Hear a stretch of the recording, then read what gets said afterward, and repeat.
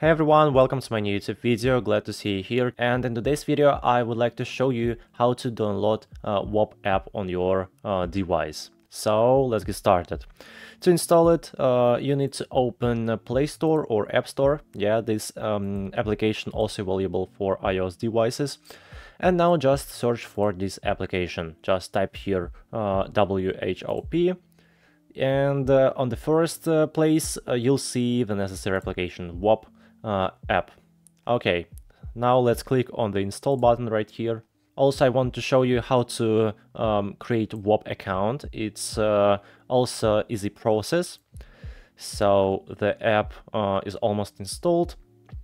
Let's just wait a bit. Uh, unfortunately, this app has a pretty bad uh, rating, only 2.7. And just below you can read more uh, about this app, uh, more reviews from other users if you want.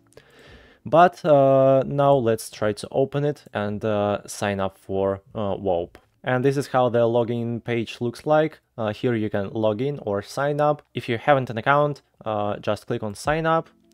And now you need to open with uh, your browser, with Chrome or Safari. Now you're on their official website, whop.com, where you can easily create your own account. You can um, continue with your email address or just uh, continue with Discord account or with X account and so on.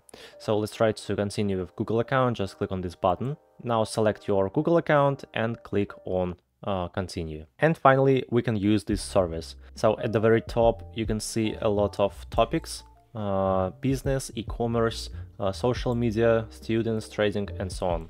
In short, this application can help you uh, in self-realization, such as uh, making money, finding like-minded uh, people and other. The interface is quite primitive, all functions are available in the menu. Um, right here, just click on the profile icon. So here is a small review, I hope it helped you. Um, please subscribe to my channel and like this video. Thank you very much, bye bye.